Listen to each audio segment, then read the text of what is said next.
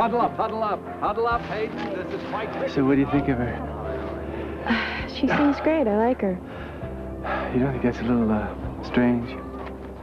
Well, if they want to be together, I don't know. Tell you this much. Can't remember the last time I heard so much noise coming out of your room. Never mind. What noise? Never mind. I didn't noise. get over there. All right. 26. 26. Pretty